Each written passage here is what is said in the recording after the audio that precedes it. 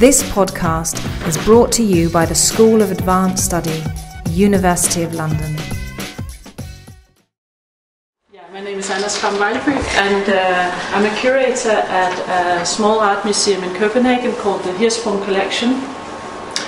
And um, last year I, uh, I was working on a small exhibition centered on two portraits we have in the collection uh, very large, almost life size, uh, from 1818, uh, showing a merchant and his wife.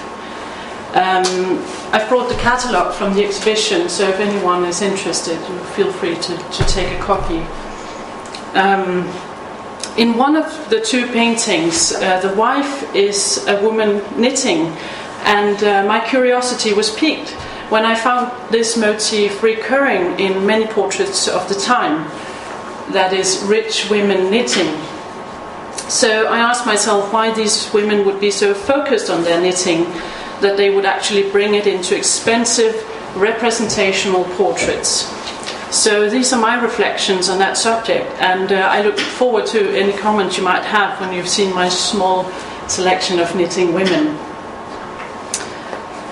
In the beginning of the 19th century, Denmark was in dire straits in 1807, the British confiscated the fleet after a devastating bombardment of Copenhagen. In 1813, the state went bankrupt, and in 1814, Norway was lost to Sweden.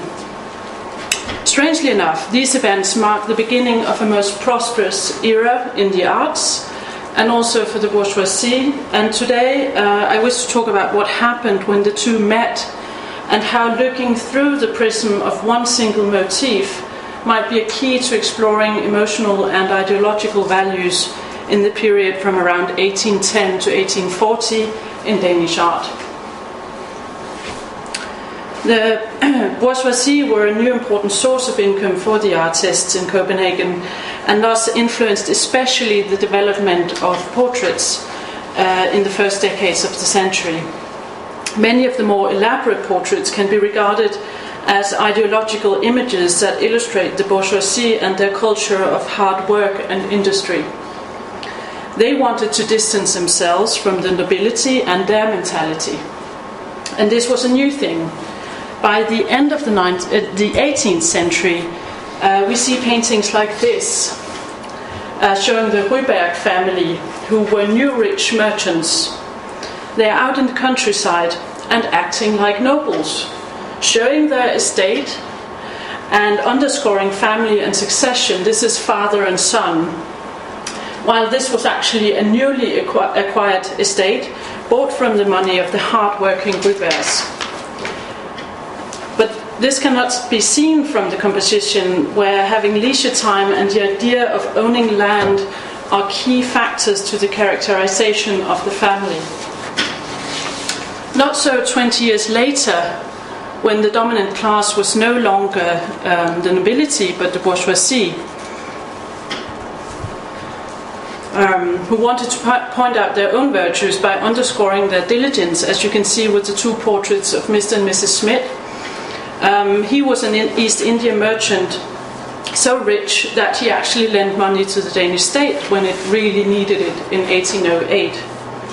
And of course, we see him in his office by the desk, busy writing letters with his faithful dog at his feet. Um, the office is quite simple with uh, only one luxury detail, uh, which is the floor with what is possibly a forerunner for linoleum, which was very expensive.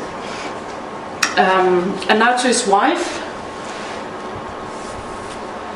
um, who inspired this whole talk. She sits in a marvelous interior in their richly furnished apartment in the center of Copenhagen. She's clad in the most luscious black silk available and has left her costly cashmere shawl casually on the birchwood sofa. From the gloves uh, on the table and her elegant attire with the fashionable ostrich feathers, uh, we understand that she's on her way out. She seems to be waiting either for her busy husband or maybe for the carriage to be readied. And why not uh, work on her knitting while she waits?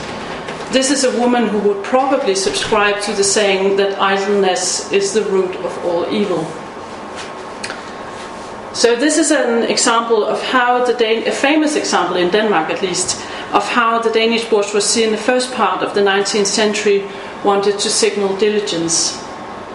Mrs. Smith does not need to knit her own stockings, she could just buy them. But this family hadn't inherited their fortune, they had worked for it, and they continued to work even though they were rich enough to lend the state money. So, my proposition is that the knitting serves as a symbol for all that. And I got curious and began looking for this motif and found it in many um, of the paintings of the time. Here we see um, the royal physician, Christian Fenger, with his wife and daughter, and also he has a faithful dog, as you see. Um, the wife is knitting. I hope you can see it. It's a bit too light in here. Um, while the daughter is more interested in the print that the father is holding. And this is even more of a snapshot shot of everyday life than Mr. and Mrs. Smith's portraits. Uh, we'll return to the parrot who has a friend in another painting that I'll talk more extensively about. Then we have Emilius Bærentzen. Uh, this is his family, uh, where the women not only knit but also spin and sew. And um, here is one who even knits on the go, standing up. um, here we see the artist's sister taking a break from her knitting. Uh, it's a half length portrait that gets a small narrative out of having the knitting included. Without it, it would just be another head. And we have plenty of those in Danish art history as well. And finally, we have the Waagepetersen family. Um, the mother in the painting is actually the daughter of Mr. and Mrs. Smith. Uh, and you see copies, I don't know if you can see it, but there are copies of um, their heads from the portraits you saw just a moment ago. Um, Mrs. Uh, Waagepetersen is resting her knitting while looking at her youngest child, uh, who, by the way, is nursed by a woman from the countryside who wears her national costume. This is also the age of rising national romanticism. Um, as you can see, there's a decisive, decisive movement from the Smiths of 1818 to their daughter of 1836, a movement towards playfulness and display of emotion. So, what is at stake here? Well, Danish Biedermeier painting, or Golden Age painting as it's usually called in Denmark, is all about realism. That is really a key word. So, of course, the women are knitting in the portraits simply because they were. Um, as you can see from this sketch showing a group of women, and everyone is at their needlework or knitting. And this is a spontaneous sketch, so it's a good source of information um, of everyday life in a wealthy family. And uh, of course, we also see images of people who actually needed those stockings, uh, mostly in genre paintings, but also in portraits. Um, here is something in between. This is um, painted by Købke, who was the son of a baker. And here we see his sister knitting, also standing, in uh, what I think is one of the most delightful works of Danish Golden Age painting. Um, she must have been at, at, her handwork at all times. She's, she's out there working, walking at the same time. Um, and here is a portrait of Købke's mother, who's not knitting, but she uh, has been given the attribute of a ball of wool. And when you know that she had 11 children, you understand why she herself would need to knit and why she would ask her daughters to do the same. And then, of course, there are those um, that knit it for a living. This is slightly later, but it still gives you an impression. This is a portrait of a shepherd who adds to his living by knitting stockings and selling them. So this also tells, tells us that you could actually buy stockings, you didn't have to, to knit them yourself. So, what about rich people? Why would they be seen knitting and simple things like stockings? apart from showing that they respect and honor their past, like Mrs. Smith.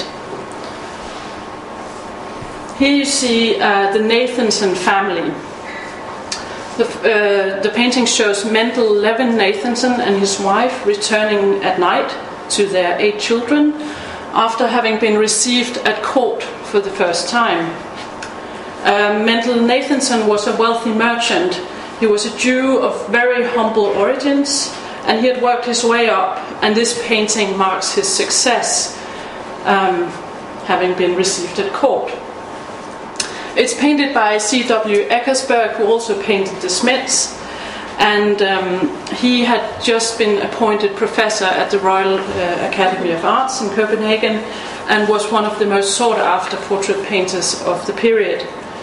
And uh, Nathanson was one of his most keen supporters and had been placing orders with Eckersberg already when he was out on his grand tour in Europe uh, studying. So you look at this painting, and there is no one knitting, but there is in this painting. Uh, this is a double portrait of the sisters Hannah and Bella Nathanson, who were the daughters of Mendel Levin Nathanson. C.W. Eckersberg has portrayed them in his easily recognizable Davidian style that he had learned in Paris, and it includes references to the classical in the girls' poses one girl in strict profile, the other full face. Um, they look like a colored version of a marble group by the neoclassicist Thorvaldsen, whom Eckersberg admired very much. And then, of course, the elephant in the room, or the parrot in its cage, which is, of course, a luxurious thing to own. But uh, I think it also tells us that modern realism is at work. Uh, because these girls are, of course, at the threshold of adulthood and should become good wives to some fine men in a short number of years. The parrot is traditionally linked with good breeding and it learns easily, and apparently so do these girls. Um, and what is Bella in her fine apricot dress doing? Well, she's knitting so why not assume that knitting was part of a well-bred girl's education and skills? And that knitting was so central that you would want it in a portrait. In the first Danish Education Act of 1814, it specifically outlined what sorts of handwork female pupils should be taught, among them knitting. So it must have been a matter of course that women knew their handwork and yet, Eckersberg and also the father, Mr. Nathanson, wanted to include this and not um, some more academic references like books, writing, and music, uh, as we saw in the family portrait, where one of the daughters is at the piano. Um, we see something similar in this peculiar painting. Um, the young Mr. Raffenberg is showing his fiancée what is presumably a portrait of his late father. The old Mrs. Raffenberg is touched by the gesture, remembering a long and good marriage, while the young Miss Hagerup, the future Miss Raffenberg, is resting her otherwise knitting hands in her lap. So she too is an accomplished and hard-working young lady who will be a good wife. Um, and with this painting, uh, emotional aspects is also introduced. This is a painting about marital love, and the stocking is, well, for someone. Um, besides from signaling that Miss Hagerup is an accomplished young woman, the painter uh, in this way also deals her a token of love, a stocking that promises that she will be knitting for her husband once they are married. And maybe if we stretch out a leg, you could say that the knitting is a symbol of the joint, strongly knitted future of the young couple. Um, as an aside, I can tell you that they indeed were to have a very long life together, uh, celebrating almost 46 years of marriage when he died in 1881. Now, I began by showing you uh, a painting of the Ryberg family. Um, and I talked about how they wanted to link themselves to the nobility's way of life. Um, as we get even closer to the turn of the century, we also see the reverse happening that the nobility is inspired by the bourgeois way of life and ideologies.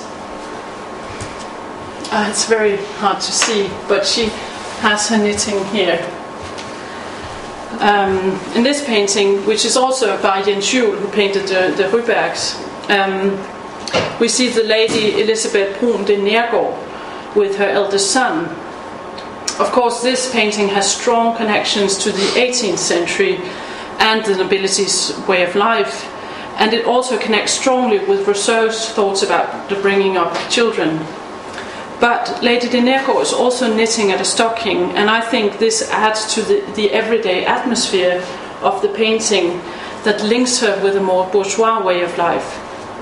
And the knitting subtly adds to the already intertwined nature of the composition of the mother and son's poses. Love is such an obvious element in this painting, and perhaps the, also the stocking is a symbol of that. In a book about housekeeping from 100 years later, uh, 1903, I found a story about an old lady. Quote, an old lady was busy working on a scarf for her grandson who was going to sea. And every guest who came to her house was asked to knit a row while thinking kind thoughts about her boy, who was soon to leave on his long journeys. That scarf has probably warmed the young sailor in more than one way. End quote. I think this sums up the essence of knitting for someone. It's a labor of love. Or as David Gauntlett puts it in his book Making is Connecting from 2011, quote, Making is connecting because acts of creativity usually involve, at some point, a social dimension and connects us with other people. End quote. I've always wondered at the coolness of the portraits of the Danish Golden Age, at least in the beginning of the period. Um, the sitters would be listening to Schubert's songs and reading Lord Byron or something similar. Uh, this is the age of the romantics and big emotion, and yet they express very little emotion to the point of being poker faced. Of course, this is also the age of neoclassicism, but it always had me wondering that these bourgeois paintings should be closer to neoclassicism than to romanticism. And maybe that's my point, emotion is really there. Uh, after all, in some odd Biedermeier neutral way maybe it can be found in a piece of knitting.